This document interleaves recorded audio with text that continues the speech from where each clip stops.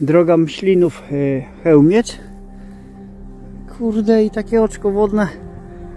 Tysiące razy przyjeżdżałem. Byłem tutaj latem dwa razy, ale było tak zarośnięte, że tego oczka wodnego nie było tu widać wcale. No to jest tuż przy drodze.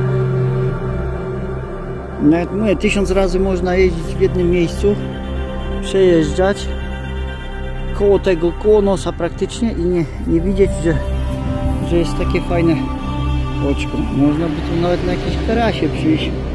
Albo linki widzę z tego, bo to stare oczko. Także mogą jakieś karaski i linki się tu uchować.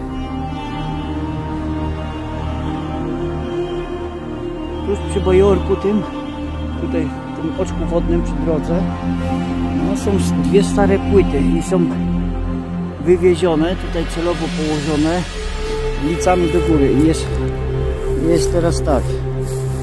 Dwie możliwości są.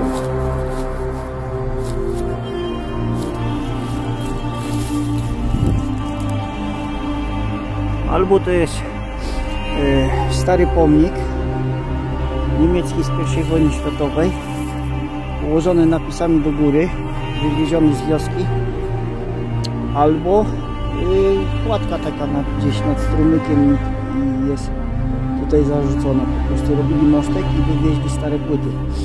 Ja optuję raczej, że to może być y, pomnik jakiś upamiętniający przede wszystkim pierwszą wojnę światową, ale i wcześniejsze prusko-austriackie i jest wywieziony tu na ubocze, żeby nikt nie widział napisane do góry, bo tak właśnie robili tuż po wojnie nasi.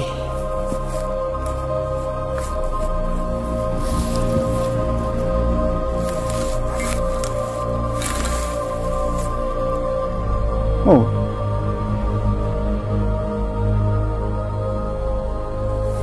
Takie cud. Takie tu jeszcze można